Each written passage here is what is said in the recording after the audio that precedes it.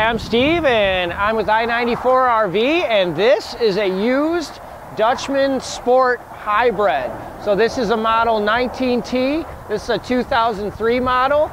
Um, so we just got this RV as a trade-in and basically we're gonna sell it as is. We're not gonna check anything out.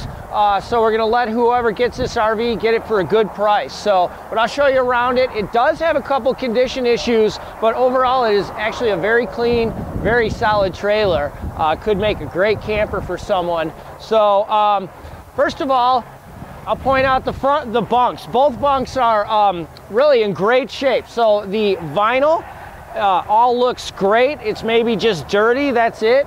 And then underneath, I don't know if the camera can see it, but all the hookups and all the connections to, to secure it when you're camping look good. They all work good. So, okay, so I'm sure you see this on camera. It's got like tape and some caulk. Uh, so obviously the previous owner had a leak there and, and uh, they um, sealed it up kind of haphazardly. I looked inside though, I really don't see any signs of rot or damage inside and I think this could be caulked up. Uh, so other than really this spot, this whole trailer looks solid.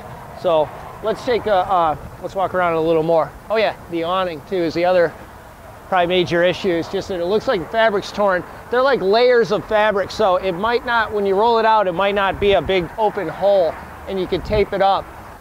Otherwise, fabric probably runs like three, 400 bucks and you can install it on the framework. All right, so uh, tires too are older. They look, I mean, they don't look all dry rotted or worn out, but they're uh, some of the, they're mismatched and, and, and they're definitely older tires. Okay, this bunk end looks good.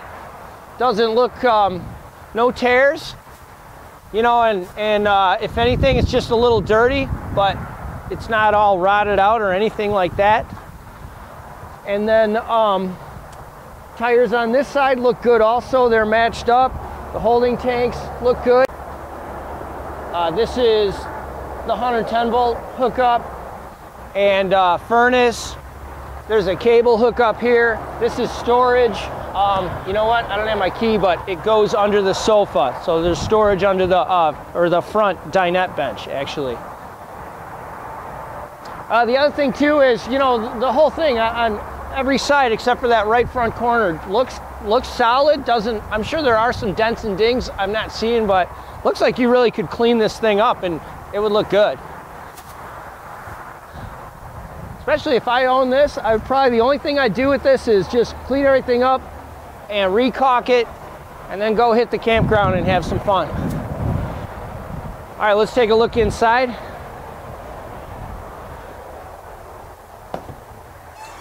All right, the first thing is this back bunk. Uh, number one, the, like I said before, the vinyl's all in good shape, the windows all work. And, uh, you know, under the mattress, Th this stuff's all solid. These bunk ends are all completely solid. And I've had a lot of these older hybrids where they're all rotted out, but like, yeah, this thing's good to go. So, probably a queen bed. And let's look in here real quick. So toilet, you know, bathroom, sink, built-in medicine cabinet. Uh, I'm 5'11", so I fit in here good. So it's got a nice tub surround, and a lot of times older trailers will have all kinds of leakage issues in the shower above the skylight. This thing looks real solid up there. Now another thing I want to point out is this portion of the ceiling. This is solid. This is not from leakage. That is the wallpaper just scrunching back. So the whole roof on this thing seems solid. Anyway, you got a nice uh, microwave, range top, oven, double sink, good storage, sofa and dinette. Uh, these both make down to beds. And then um, there's like a, a tape player here, I think. It has an auxiliary in. Oh, it probably is a CD player. 2003, yeah. So anyway, uh, here's queen bed up front. Same deal with the front bunk end. It's all in good shape. It's all real solid under the mattress. And um, I did notice a spot of mildew right here that could be cleaned up. It's like just a couple little spots. So, um, so I'm Steve. I'm with I-94 RV, and this is a 2003 Dutchman hybrid that we're going to sell as is. So uh, I-94 RV is located in the northeast corner of Illinois, and you could reach us at i94rv.com, or you can call me direct at 847 302 8169. Thanks for watching.